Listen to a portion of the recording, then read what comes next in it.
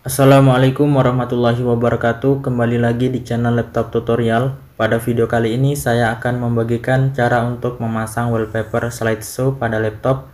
Jadi di mana wallpapernya ini akan berubah-berubah menggunakan foto kita sendiri setiap satu menit.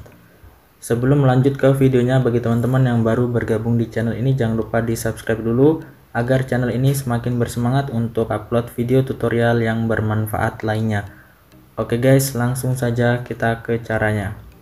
Jadi di sini silakan kalian masuk dulu ke file explorer. Kemudian silakan kalian cari folder foto kalian.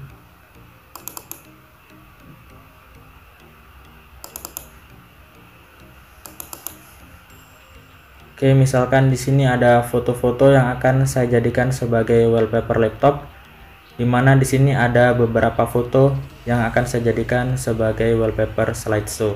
Jadi nanti semua foto yang ada di sini akan menjadi wallpaper dalam setiap satu menit akan berubah-berubah sesuai dengan urutan foto yang kita pilih ini guys. Nah jadi caranya di sini silahkan kalian tandai foto yang akan kalian jadikan wallpaper. Caranya bisa kalian blok seperti ini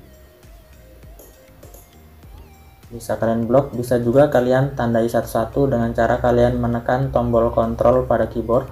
Kemudian klik kiri. Lalu silakan kalian seleksi pada foto yang akan kalian jadikan wallpaper. Misalkan yang ini. Setelah kalian pilih foto yang akan kalian jadikan wallpaper slideshow kemudian kalian klik kanan. Lalu di sini pilih set as desktop background